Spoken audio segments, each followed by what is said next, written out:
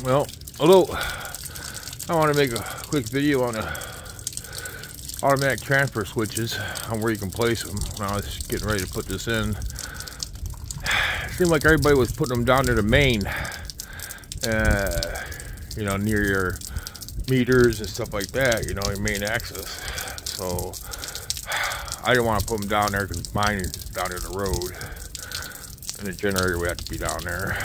So, but I did find out that you, you can put them anywhere, in line. Uh, if we do it after the meter, it makes it kind of easier, I guess. They don't have to.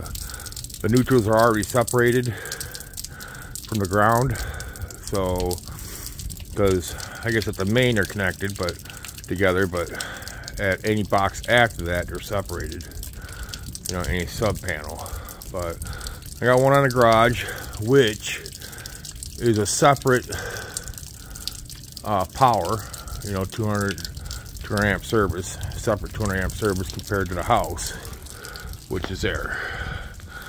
So I got this one here, which is on the garage. That comes underneath the house and then goes over the garage, which the generator's over that way.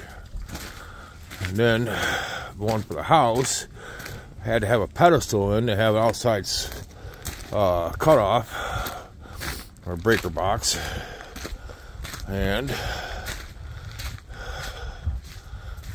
changed out the cutoff panel there, or the panel, disconnect panel there, and put in the automatic switch. So down there is where my meters are and one comes up through the yard for the house. The other one comes up on the side of the driveway and goes around. So if I would put it, put it down there then I'd probably have to put the generator on that ledge there and I didn't want to do that. Farther away from the road I can have it the better it is. But yeah that's where uh, we got it. So you can pretty much put uh, your automatic switch, disconnect switch anywhere. You don't have to put it down near the meter.